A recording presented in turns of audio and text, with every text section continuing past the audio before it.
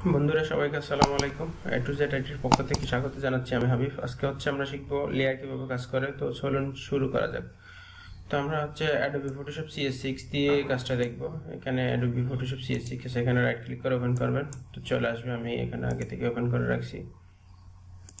তো সেটা করার জন্য আমাদের ফাইলে যাইতে হবে। দেন হচ্ছে এখান থেকে নিউতে যাব।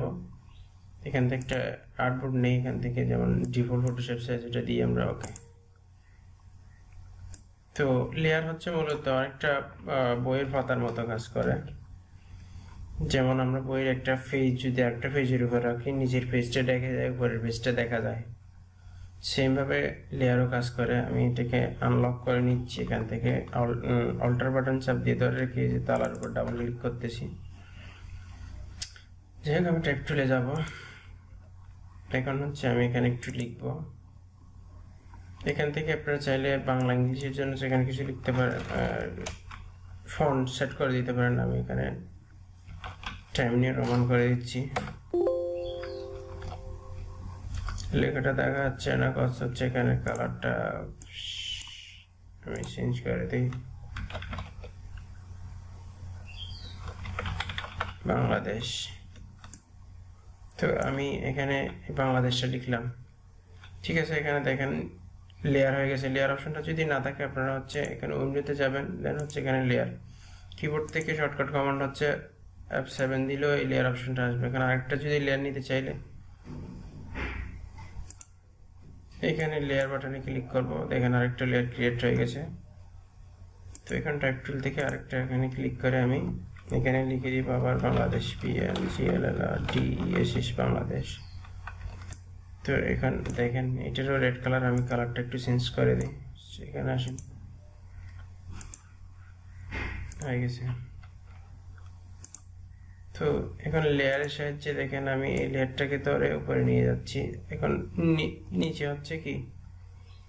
আমাদের উপরে এখন রেড কালারটা তো আমি এটাকে নিচে পাঠাতে চাইলে হচ্ছে এখানে আমি দেখেন, এখানে চোখের উপর ক্লিক করলে গ্রিনটা চলে যাচ্ছে রেড কালারটা চলে যাচ্ছে আচ্ছা রেড এটা আমি চাইলে এখানে ডাবল ক্লিক করে রেড লিখে দিতে সরি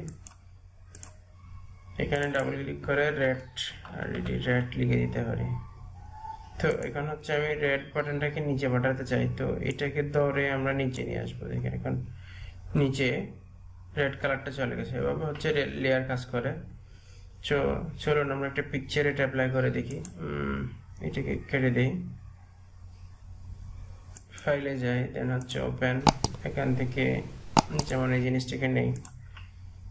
এটিকে নেওয়ার পরে যে আমরা এখান থেকে কুইক সিলেকশন টুলে যাই এটাকে একটু সিলেক্ট করে নিই। জাস্ট এটাকে জাস্ট নর্মালি একটু সিলেক্ট করে দিই। যাই হোক, এতটুকু করলাম। এদিকে একটু বেশি হয়ে গেছে মেবি এগুলো অল্টার ধরে আপনার বাদ দিয়ে দিতে পারেন। তাহলে আমি এত পারফেক্টলি করতেছি না, যেহেতু এটা টিউটোরিয়াল আপনারা সুন্দর মতো করে নেবেন। এটা করার পর হচ্ছে আপনি এটাকে আনলক করে নেবেন। এখানে ডাবল ক্লিক করে এখানে ওকে দিলেও আনলক হয়ে যাবে। তো এখন হচ্ছে লেয়ার এখানে একটু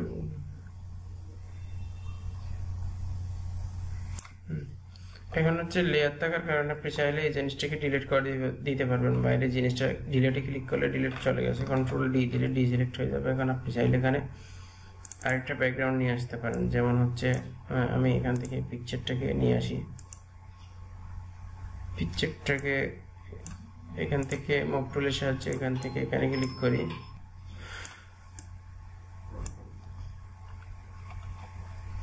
দেখেন দেন হচ্ছে আমরা পিকচারটাকে মুভ টুলের সাহায্যে যে মুভ টুলে ক্লিক করে এখানে একবার ক্লিক করব দেন এখানে নিয়ে আসব। এটাকে একটু বড় করে দেই। এই যে পিকচারটা পুরো দেখা যাচ্ছে।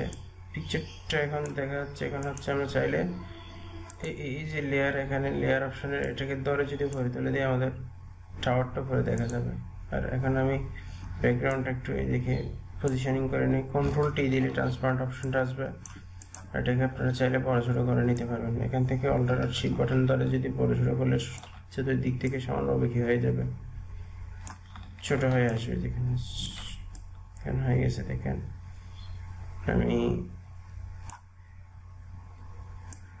এটাকে বড় করে নিই একটু।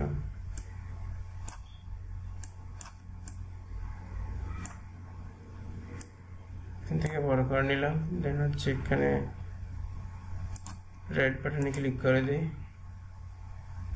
এখানে হচ্ছে এই লেয়ার থেকে আমরা টাওয়ারটাকে একটু নিচে নামাই দিই।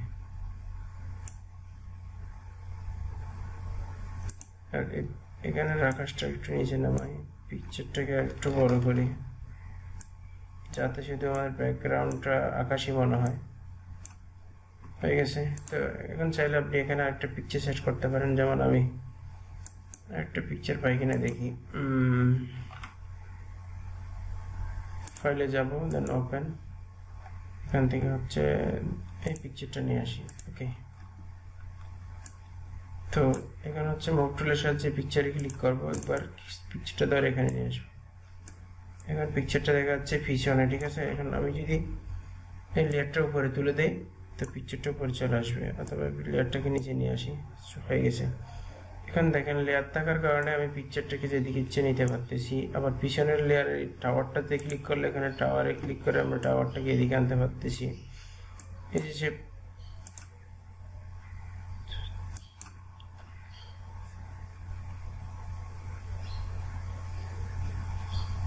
এই যে যে পজিশনিংগুলো মাত্র করতে পারতেছি, শুধুমাত্র এই লেয়ার অপশনগুলো থাকার কারণে এই যে লেয়ার লেয়ার থাকলে আপনার পছন্দ মতো আপনি এই জিনিসগুলো করতে পারবেন। তো বন্ধুরা, আজকে ভিডিওটা যদি ভালো লাগে প্লিজ লাইক কমেন্ট শেয়ার করবেন। আর আমার চ্যানেলটিকে সাবস্ক্রাইব করে পাশে আসা বেল আইকনটিকে বাজিয়ে দেবেন। Thanks for watching